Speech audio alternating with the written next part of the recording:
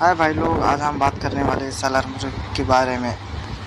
Movie के start में हमें दिखाया जाता है दो लड़के, जो कि एक दूसरे के बहुत अच्छे दोस्त थे एक लड़का उसके दोस्त की ज़बरदस्ती से नथुनी लेकर जा, उसी को नथुनी वापस पाने के लिए एक पहलवान के साथ लड़ाई करना पड़ता है।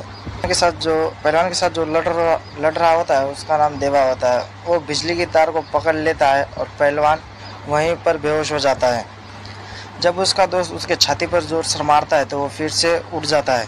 और जिस लड़के ने उसके दोस्त की नथनी ली थी, वो उसको वापस कर देता है।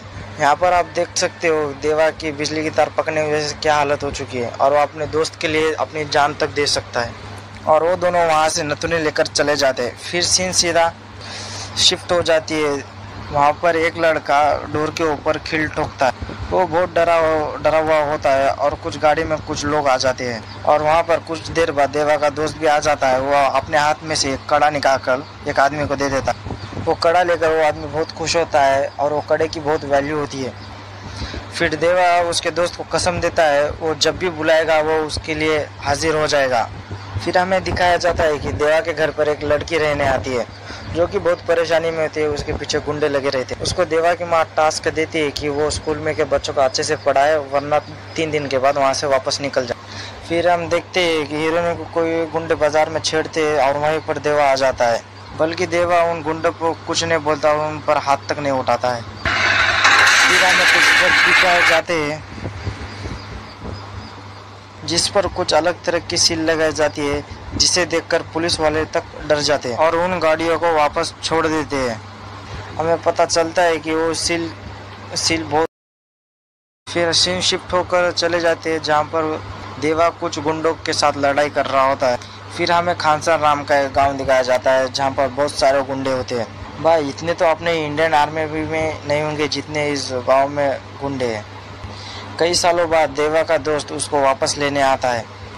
वो उसे कहता है, क्या तुम मेरे साथ चलोगे? लेकिन देवा की माँ नहीं चाहती थी और उनको उनका आती थी आधा फिर देवा उसके साथ चले जाता है। उस गाँव में कुछ अजीब तरीक जहाँ पर पतंग उड़ाई जाती है और उसको कट कर दिया जाता है। जैसे ही वो किसी घर पर पड़ती है, वहाँ से एक लड़की उठा ली जाती है। वहाँ पर अपने हीरो प्रभास की एंट्री हो जाती है। वो उस लड़की के माँ को साहस दिलाता है और कहता है, जो करना है वो तुम ही कर सकती हो। वहाँ पर मारने प्रभास को मारने के लिए कुछ गुंडे आ जाते हैं, लेकिन वो उस गुंडों को मार देता है। फिर भाई क्या यहाँ तो बहुत जमकर मारा मारी चालू हो जाती है। उस गाँव में के सारे औरत बहुत खुश हो जाती है। हमें पता चलता है कि देवा के माँ के साथ भी कुछ ऐसा ही हुआ। वो गुंडों को बहुत बुरी तरीके से मारता है। ये तलवार खपाखप, ये भाले झपाझप। वो माँ अपनी लड़की को देखकर बहुत खुश होती है। वो उस आदमी को बहुत बुरी तरीके से मार देता है और सारी बात पूरे खानसार में फैल जाती है, जिससे बहुत लोग शौक हो जाते हैं। देवा और उसके दोस्त वरदार को दरबार में लाया जाता है, जहाँ पर उनके दोनों को सज़ा सुनाने वाले थे। जब विष्णु का बाप तलवार लेकर मारने निकलता है, तब देवा कहता है, वरदा की कोई गलती नहीं है, सारी गलती मेरी है, लेकिन विष्णु का बाप सुनता नहीं और वरदा को मारने चले जाता है। जैसे ही विष्णु का बाप वरदा का कॉलर पकड़ता है देवा तब उसका हाथ काट डालते, काट डालता है। और भाई क्या, देवा और वर्दा के ऊपर फायरिंग का ऑर्डर दे दिया जाता है। देवा ने फिर से कहा, कोई वर्दा को हाथ नहीं लगाएगा। जब तक सारे गुंडे गन लोड कर रहे होते, देवा को फिर से गुस्सा आ जाता है और वो विष्णु के बाप का सर उड़ा डालता है। सभा में बैठे सारे लोग हैरान हो जाते हैं और बहुत डर जाते हैं। देवा और वर्दा को जेल में डाल दिया जाता है, जहाँ पर देवा वर्दा से माफ़ी माँगता है। और फिर क्या भाई, देवा और वर्धा को मारने के लिए उन दोनों को जेल से बाहर निकाला जाता है। और वहाँ पर देवा कहता है उन गुंडों से, अगर ऐसे तलवार तेज करोगे तो चमड़ी भी नहीं उधड़ेगी। और देवा गुंडों से ये कहता है, ज़रा जम के रगड़ो। जब वार हो तो हड्डी भी कट जाए। वहाँ पर बैठे औरत से वो कहता है कि, मेरे हाथ पर टैटो बनाओ। वो औरत पूछती है कि, कैसा टैटो बनाओ जो मेरी आँखों में दिख रहा है, वैसा टैटो बनाओ। वो उस औरत को कहता है उस औरत को देवा के आँखों में उन गुंडों की मौत दिखाई दे रही थी। वो औरत वैसा ही टैटू बनाती है। आप ऐसा टैटू बिल्कुल भी अपने हाथ पर मत बनाना। और वर्धा कुछ गुंडों से लड़ रहा होता है और वहाँ पर देवा आ जाता है। कहता है, भाई, थोड़ी देर हो गई, थोड़ा टैटू बनवा रहा था। ये सीन देखकर मुझे भी लग रहा है, भाई, अब तो वाह, क्या सीन है। और वहाँ देवा और वर्धा में शर्त लग जाती है, कौन सबसे ज़्यादा जॉम्बिस मारता है।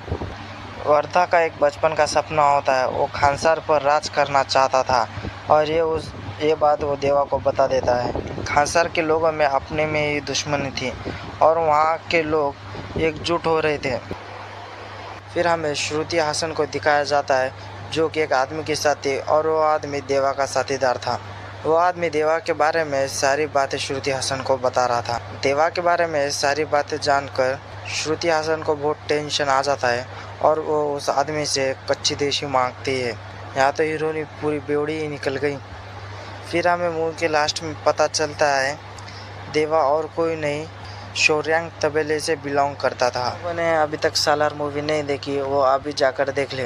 भाई, ऐसी साउथ की मूवी आपको वापस कभी देखने नहीं मिलेगी। और जिन लोगों ने अभी तक हमारे चैनल को सब्सक्राइब नहीं किया है, वो जल्दी से सब्सक्राइब कर दीजिए।